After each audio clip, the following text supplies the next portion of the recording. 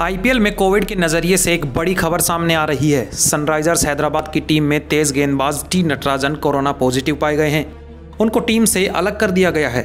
आपको बता दें, इनके अलावा भी टीम के कई सदस्यों को टीम से अलग कर दिया गया है। उनको आइसोलेशन में डाल दिया गया है।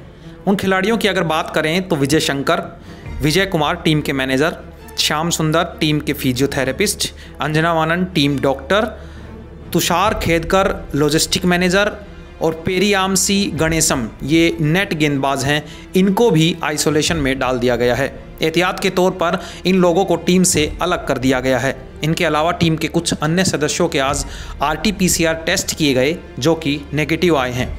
अभी तक की खबरों की माने तो दिल्ली और हैदराबाद की टीम के बीच आज दुबई में खेले जाने वाले मैच को नहीं रोका जाएगा, लेकिन अब भारतीय टीम के इंग्लैंड में टेस्ट मैच को रद्द किए जाने वाला मुद्दा एक बार फिर से उठ सकता है।